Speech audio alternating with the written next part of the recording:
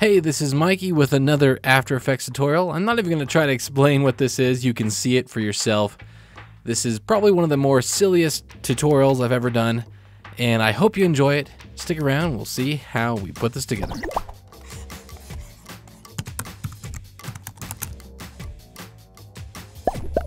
Now, as you can see, we're doing this kind of a cool loop thing, and we're going to actually turn this into an animated GIF at the end of this tutorial.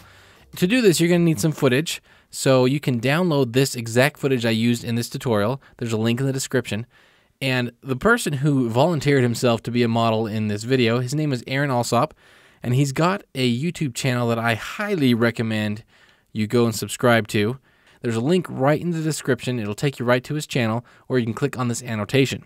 He's actually doing a lot of cool stuff. They've they're putting together a documentary, and he's got lots of behind the scenes um, of putting together that documentary. And I actually might do some some motion work for the documentary. We'll see about that. So to get started, let's create a brand new composition. So just Command N will open up a new composition or Control N if you're on Windows. Just going to call this Aaron. And I'm going to bring in my video. And so let me kind of scrub to the part where I want and and there we go. He's starting to move down. You can see up, up in the right corner. and I want it to start when he's off the screen. So right there, and I'm going to just take this, I'm going to hit Option and then the left bracket on the keyboard, which is right next to the P. I need to change my composition settings. It's only set at 20 frames. So let's set this at 10 seconds just so we can see what's going on. And I need this to be right where he's out. Right there. So, and then option right bracket, which is next to the left bracket. And in order to do this, I need to do some masking. And since he's moving from right to left and he's moving down the stairs, the easiest way for me at least, since he's got crazy arms in the front, is to mask around the back. And so I'm going to start here right where, start about right here, where we can see that he's on there. Let's grab the pen tool.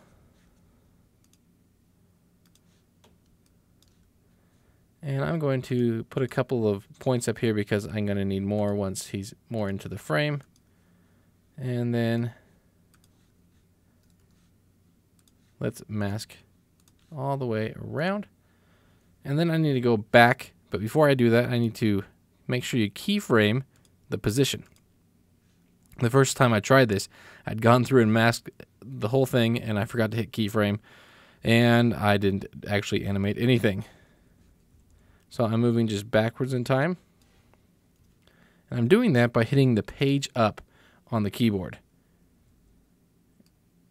And let's bring this back. And you want to get it fairly close to the back of his legs.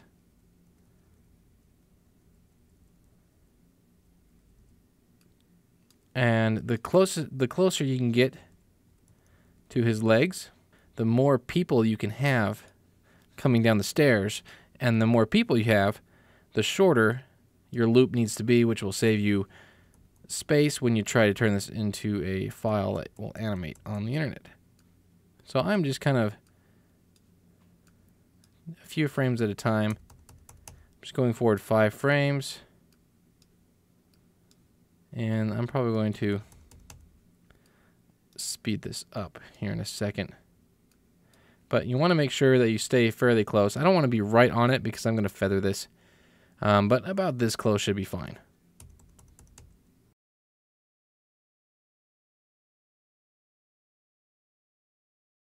Okay, so I've kind of powered through that. And once I've got just the initial um, keyframe going, I need to kind of go through and just see to make sure that I'm not cutting off any of his parts of his body. Now, there's really no quick and easy way to do this. You just have to kind of go through and do it frame by frame, not frame by frame. I went through five at a time. But as far as trying to do some tracking or anything like that, it's uh, not going to work out too good for you. So now I'm just going through frame by frame, and I can see right here. Um, I need to move that a little bit. And so I'm just hitting again the page down on the keyboard. And that will take me through the frames. And I want it to be close, but again, not cutting any of him off. So this part actually goes pretty fast once you got the initial um, keyframing in there for the mask. And we're almost done. Oh, right here. Okay, so that looks pretty good. Now I'm going to take somewhere here in the middle and let's add a feather to this. So go down to the mask feather and I think 25 should be about right. You just need a little bit just to help things kind of blend together a little bit better. Now let's let's move this so we can see more of our timeline. And what I'm going to do is I'm going to go somewhere here in the middle. I'm going to duplicate this. I'm going to take this bottom one and I'm going to move it back until I can see both of them. Looks like it's it's about one second, um, which is nice. That means every second it's going to repeat. So I'm going to now go to right here to two seconds, duplicate this layer, select the bottom layer, and I'm going to hit the left bracket on my keyboard and it'll move everything over. It's not going to cut it if I just hit the bracket without option. Now go up to three seconds, duplicate this, that's Command D or Control D, select the bottom one, hit the left bracket, and we're going to just do this several times. Again, just keep on going one second forward, duplicating and shifting. Okay, so I think we have enough. So now what we need to do is pre-compose this. So I'm going to select all of these, Command Shift C. We'll open up the pre-compose window, or it's Control Shift C on Windows, and we'll call this dupe Aaron. Make sure you move all attributes. And then what we need to do is take this composition, and I'm going to my composition settings, and I need to change this just to one second. Because remember, it was one second before I repeated it. And so now, at one second, it's going to loop. Now, it's going to not loop here at the beginning, so I need to move. I'm just moving this over until all the Aarons are on. And at this point, where this um, front person is on that edge, I can move this anywhere and it'll it'll loop just perfectly. So let's put it about right there so he's not halfway off. And let's just hit the space bar and let's quickly preview through this. So there we have it. It's crazy. Lots of duplications. Now how do we take this and turn it into an animated GIF? So with that, you're going to have to use Photoshop. And if you've got After Effects, you most likely have Photoshop. And so let's quickly render this out. And I'm going to render it as just an H.264, and then I'm going to bring it into Photoshop. So File, Export, let's add it to the render queue. Change this to H.264.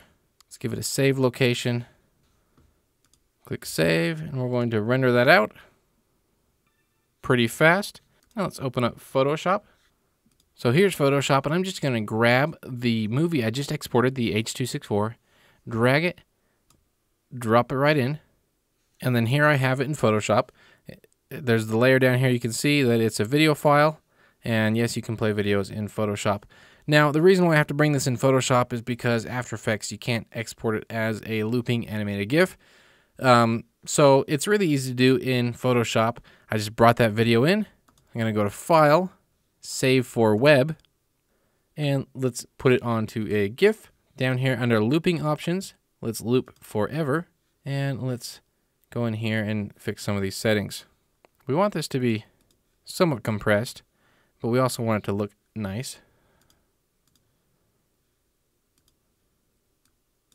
So let's also bring this down to 25%. Uh, let's go 40%, 50%.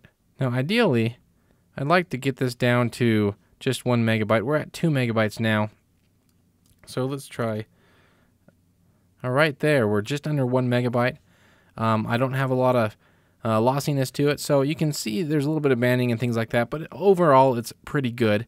And you're just going to want to uh, mess with the colors and the, the lossiness and the settings in here. It all depends on your footage. If there's lots of gradients and things like that, it's going to be a bigger file. If it's more flat colors, then it's going to be a smaller file.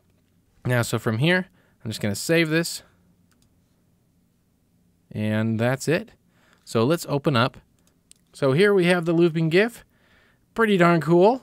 And you can upload this to, you know, your social media and do all sorts of fun things with this.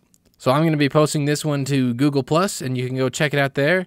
Also, I want to see what you do with this. I want to see you create your own looping GIFs with lots of crazy characters, whether you use this image of Aaron or if you're out there creating your own. Now, the key to this is I had it locked down on a tripod. You can't use a handheld camera for this because it needs to be the same all the way through. It needs to be completely steady or it's not going to work. You'll also notice in the download of this video file of Aaron, I will show you right now, is I've also got one of him going up the stairs. So mess around with that.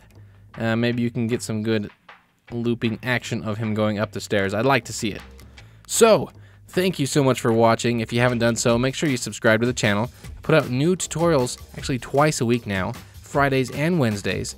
On Wednesdays, it is quick tips. So these are short, quick tips for After Effects, just quick little things I've learned to make life a little bit easier.